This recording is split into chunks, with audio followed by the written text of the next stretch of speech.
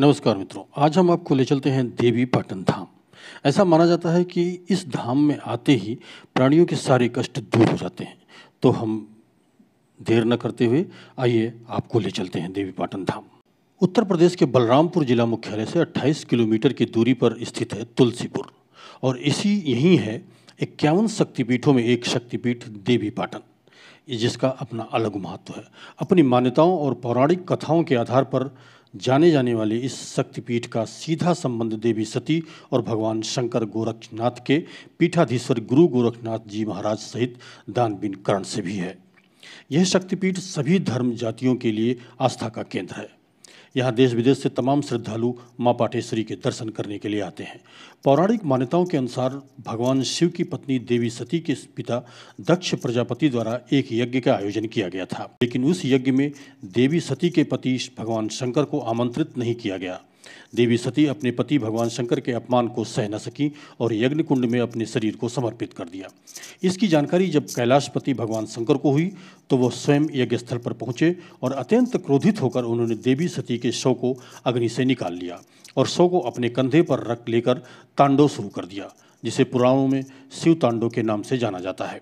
भगवान शिव के तांडव से तीनों लोकों में त्राही त्राही मच गई, जिसके बाद भगवान ब्रह्मा के आग्रह पर भगवान विष्णु ने अपने सुदर्शन चक्र से देवी सती के शरीर को विच्छेदित कर दिया, जिससे भगवान शंकर का क्रोध शांत हो सके। विच्छेदन के बाद देवी सती के शरीर का भाग जहाँ जहाँ गिरा वहाँ वहाँ शक्तिपीठों की स्थापना हुई। बलरामपुर ज़िले के तुलसीपुर क्षेत्र में देवी सती का वाम स्कंद के साथ पट गिरा था, इसीलिए इस शक्तिपीठ का नाम पाटन पड़ा। और यहाँ विराजमान देवी को माँ पाटेश्वरी के नाम से जाना जाता है। नवरात्र के दिनों में माँ पाटेश्वरी की विशेष आराधना की जाती है।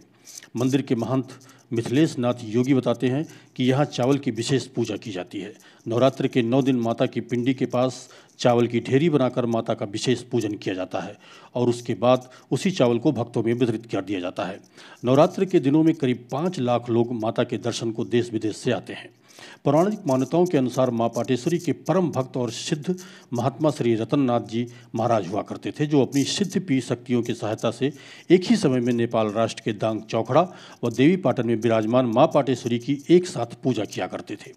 उनकी तपस्या व पूजा से प्रसन्न होकर माँ पाटेश्वरी ने उन्हें वरदान दिया कि मेरे साथ अब आपकी भी पूजा होगी, लेकिन अब आपको यहाँ आने की आवश्यकता नहीं होगी। शक्तिपीठ के गर्भगृह में ही एक अखंड धूना भी प्रज्वलित है। कहा जाता है कि भगवान शंकर के अवतार माने जाने वाले गुरु गोरखनाथ जी महाराज ने त्रेता युग में माँ पाटेश्वरी को प्रसन्न करने के लिए तपस्या की थी और ये एक अखंड धूना प्रज्वलित किया था, जो त्रेता युग से आज वर्तमान समय में भी अनवरत रूप से जल रहा है।